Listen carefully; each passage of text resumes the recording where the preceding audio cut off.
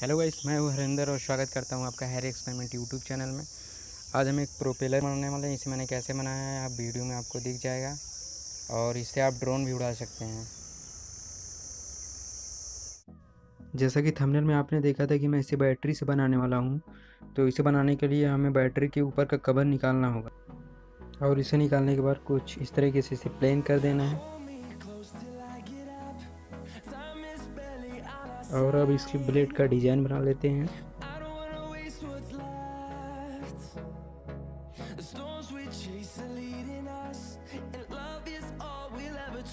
ये वाला इसे मैंने छः सेंटीमीटर लिया है।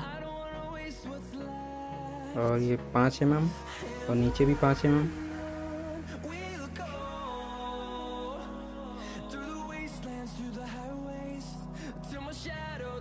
और इसे यहाँ पे मिला देना है।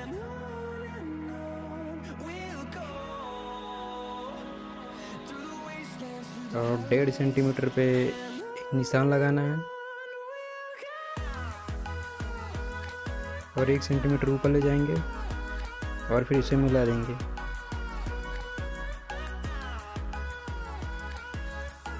और उसे कुछ इस तरीके से मिला देंगे। ये हमारा एक सेंटीमीटर है और ये छः सेंटीमीटर।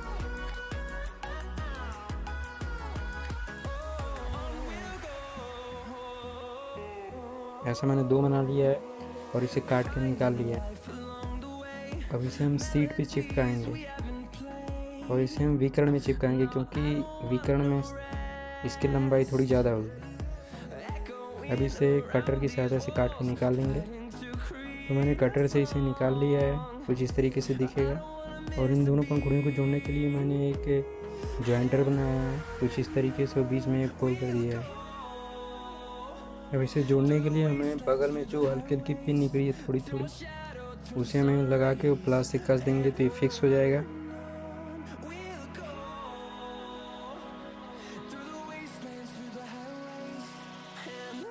इस साइड का भी दबा देंगे।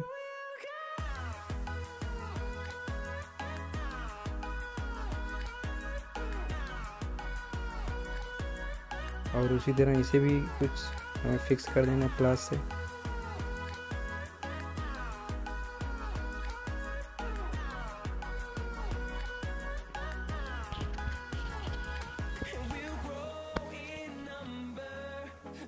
तो अभी ये कुछ इस तरीके से दिख रहा है।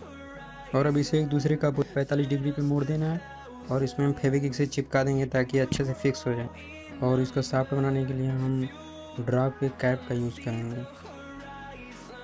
अब इसे इसमें से निकाल लेते हैं और ये अच्छे से इसमें फिक्स हो जाएगा।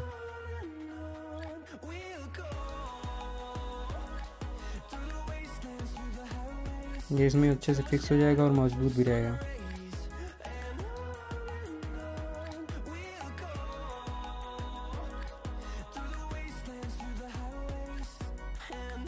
और अब इसके ऊपर कैप को लगा देंगे ताकि अच्छे से फिक्स हो जाए।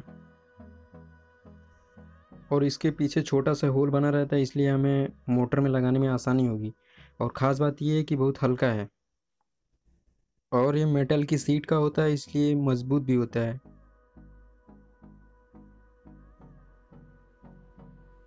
और इसे थोड़ा अट्रैक्टिव बनाने के लिए मैंने इसे कलर से रंग दिया है। इसे मैंने दो कलर से रंगा है, एक रेड और एक ब्लू। ताकि देखने में थोड़ा अट्रैक्टिव लगे।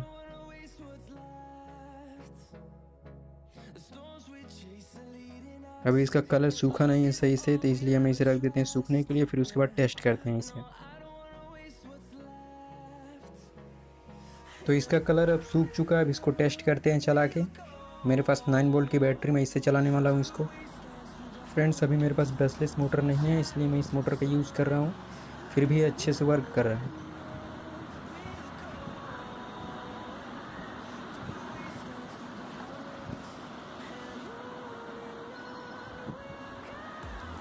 तो फ्रेंड्स, अगर आपको वीडियो अच्छा लगे तो लाइक करें और चैनल पे नए हैं तो सब्सक्राइब करें। मिलते हैं नेक्स्ट वीडियो में। तब तक के लिए नमस्कार।